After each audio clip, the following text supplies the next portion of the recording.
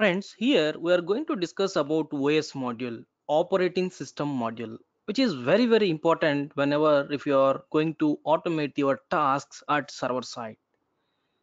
Because the OS module, using this OS module, you can work or interact with your operating system. See, whenever if you are able to interact with your operating system, you can automate some tasks like creating directory, removing, changing your directory, knowing your directory, right? And many more. So that's why this is very, very important. And just to get confidence on your OS module, myself, I'm dividing this module as four parts. That is simply OS and os.path, then os.system, and then os.walk. So that means I want to explain this OS module with step by step. So in this video, we are going to see some simple operations with your OS module, right? See, this is a module, right? OS module. That means using this OS module, you can work with your Windows operating systems as well as Unix-like systems, right? Let me take very a simple variable from your OS module. You know, module is always consist of some functions and variables, right? Or simply module consists of some operations. One of the operation is os.separator. What is this os.separator? See, if I take some Windows operating system path, right? Let me take this path. See, this slash is called OS separator on your Windows. Let me take your Unix systems. So now this is the different slash, right? This slash is the separator for your Unix like systems. Now, if you want to set some path separator, you don't need to set manually. Based on your operating system, Python will set it. Suppose let me enter into my Python terminal. And you know, whenever if you want to use OS module, you have to import your OS, right? And then to see list of your OS uh, module operations, simply you can run dir of OS so these all are the operations with your os but i'm going to divide this into four parts and i'm going to explain that step by step. Right? So you know that guys these all are like some of the some of them are functions and some of them are variables. If you want to know which is a function and which is a variable you have to go with the help. If you press enter right you are going to get your os module information with the functions and then some data right? So if you want to see you can go through that. I'm not going with that let me simply print on your Windows operating system os.separator. You're getting slash. Same way, let me go with your Unix-like systems. I'm going to enter into my Python terminal on my Unix system, that is Linux system. Let me import OS first. Then I'm printing os.separator. Right? Automatically, based on your operating system, Python is finding. Now this is the different slash, right? Fine now let us assume that let us assume that i have a some simple directory called let me take on my desktop. Okay i'm going to create some directory new directory. Like hi. Then i'm going to create one more directory. One more directory. Let me create it simply. I'm going to create like uh, I will take new now let me take this path. So path is always a string guys. If you go with anywhere right path is always a string. Let me take path is this one. I am storing into some variable. First I will take hi this is my path. Right? Okay you're getting some error. Then let me take new also. See why whenever if you take a path your python is giving some error but if i take on your unix like systems right uh, let me take path equals to home ec2 user right? Now it's taking perfectly.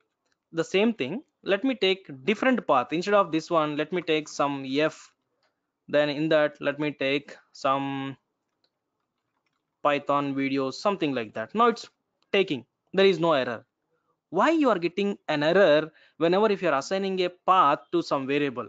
Not only variable even if you try to print your path you will get an error.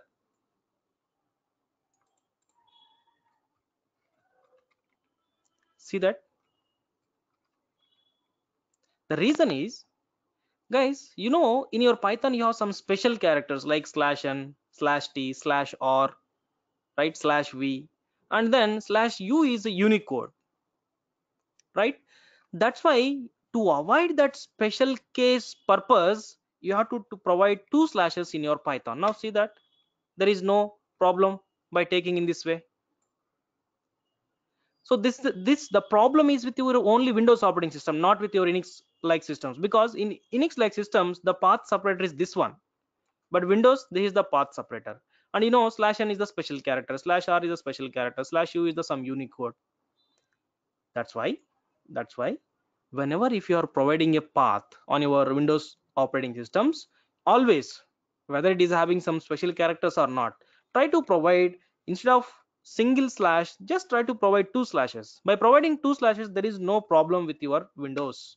But if you don't provide sometimes you will get an error. If you don't provide two slashes in your path sometimes there is a chance to get an error. That's why just to avoid error even by mistake to avoid your error try to take always two slashes in your path. That is the good practice. Just remember this point. That's fine. Now what is the next operation? Os.getcwd guys to know your current working directory on windows you have to run cd command. On your unix you have to run pwd command. But instead of running this one and this one based on your operating system just to go and run this irrespective of your operating system python will take care and it will give the current working directory. See that? I am going to take first windows. Let me print let me print os dot get cwd see that you are getting some path. Let me go and run it on your unix as well. Os dot get cwd i can also assign this output into some variable. Sorry i have given some extra parenthesis right? Or let me take current working directory variable. I can assign os dot get cwd and then i can print that cwd no problem. That's it. See now you no need to worry about your operating system. Okay generally to get your current working directory on windows you have to run cd command. On your unix like systems you have to run pwd command. But if you go with python you don't worry about which operating system you are using to get your current directory. Python will take care that. The only thing you have to remember os.getcwd that's it. Then os.change directory. Let me do one thing. As of now you are under this location c users automation. Now i want to move into different location. Then simply run. In your script also you can use this os.change directory guys you have to provide path to which location you want to move. Path is always a string. And remember that you are working on windows. You have to provide two slashes in your path. Okay already we are providing same path right? Let me remove this automation. Previously you are under this location. Now i am moving into this location with the help of this syntax. Now see that what is the current location where you have using get cwd that's it same thing you can do it on your unix as well right? Let me do it at least this one on your unix like systems. So i want to move os dot change directory. Just i want to move into home location. Now see that where you are? That's it. So guys make sure that while working with unix like systems non don't provide any double slashes in your path. But in windows you have to provide it right? Fine see again to list some files on windows you have to use dir command. On linux you have to use ls command. But instead of that simply you can use os.list directories right? Let me run it on my linux at least. Same you can run it on your windows as well. Print os.list directories. See the output right? Otherwise i will do one thing os dot change directory i want to move into home ec2 user. So in this location i want to list. So you can move and then you can list or directly you can do one thing let me do it. Os dot print os dot list directory. You can also provide path for which location you need to list out your values i mean files and directories using in this way i think i need to provide one more parenthesis. Fine. See that? See os dot list directory is going to take a path or if you don't provide a path it will take your current location as a path and it will list the in the current location whatever the files and directories are there. And output is always a list. Make sure that. Output is always a list. You have to remember this because sometimes you need to use this output. Right? Fine so os dot list directory without path with path. Then os dot make directory. See you, you can use this just to create your directory maybe on windows or unix. You can practice with your windows as well guys. I am doing as of now on linux but you can do it same thing on windows as well. See as of now in the current location first let me check what are the files and directories are there with the help of os dot list directories so current location no need to provide path. Yes. Now what i am doing is os dot make directory i am going to create suppose narendra directory. What happened? Maybe oh we are under home location right? Home i don't have permission for that. Let me move into my home use ect user home. Os dot change directory then root home. Root home i don't have permissions in that location. That's why i, I have to enter into my location ec2 user. Then here i can make directory called suppose anything narendra. Right? Now os dot list directories. See previously we ran os dot list directory this location. See the list of files and directories you have. Now see that you have somewhere narendra. Previously you are not having this. Udemy and june 2019 but between june and 2019 you have a narendra. Because just now we created that with the help of os dot make directory. Right? Fine. And make sure that guys whenever if you are providing a directory name that is also a string you have to write inside of a quotation. Fine. The next one is os dot make directories and then path. That means if it is in the current location you can use os dot make directory. But recursively if you want to create i mean suppose assume that you are in somewhere home ec2 user. In this path you have. Now i want to create some xyz in that xyz i want to create x. So at a time i want to create xyz and then in that x. Recursively i want to create this path. Then at that time you have to take os dot make directories. See that? If i take simply os dot make directory. Suppose i want to create under udemy. I want to create xyz and then x path. Right? It's not possible. But if i take os dot make this one right? Os dot make directories. Now let's observe that. Under udemy i want to create xyz and then in that x i want to create right? Now just list os dot list directory your udemy. See the result? Right? That's it. Otherwise come out here. Ls udemy. Now recursively you can see i think using u tree command. See that? Sorry maybe tree is not there. Let me install it sudo yum install tree command so that you can see recursively. Tree udemy. See that? Inside udemy you created xyz inside that x. So recursively if you want to create you have to use os dot make directories. Now to remove some path you can use os dot remove right? And then recursively if you want to remove i mean just now we created recursively right? Under udemy xyz under that x. Now if you want to create x or recursively this xyz under udemy. Then you have to use os dot remove directory then your path. Path is always a string.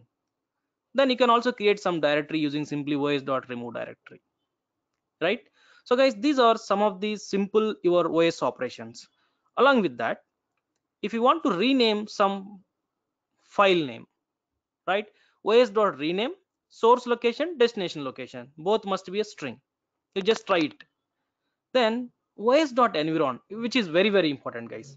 See let me run it on my command line env command. You are getting some environment variable values of your operating system right? Now same things you can get it with your python as well.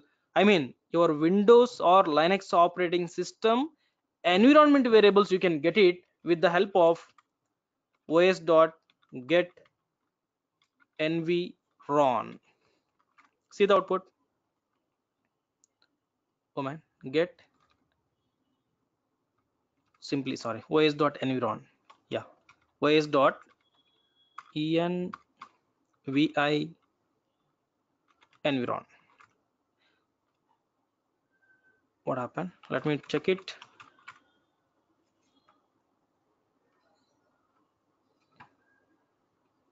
Where we are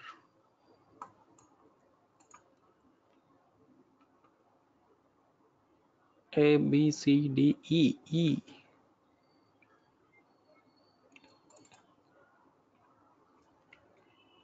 Oh sorry. Os dot. Yeah this is a variable right? Nv ron see the output? You're getting some environment variable information. Right? So simply print os dot envi or environ. That's it. So you're you are able to get your environment variable values of your operating system using os dot environ right? Then fine. What is the user uid you know you have a uid for your each and every user on your operating systems right? Let me run it. Uid of this sorry id you are going to get uid of your user 500 right? And group id 500 as of now right? See let me get it from my python. Import os os dot get uid user id 500 os dot get guid group uid what is that? Get uid let me see the operation so that it will be clear for me. Get uid get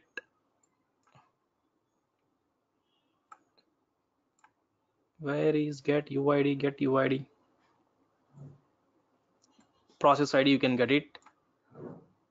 Right? I want to get group id get groups yeah. Get gid so what i did?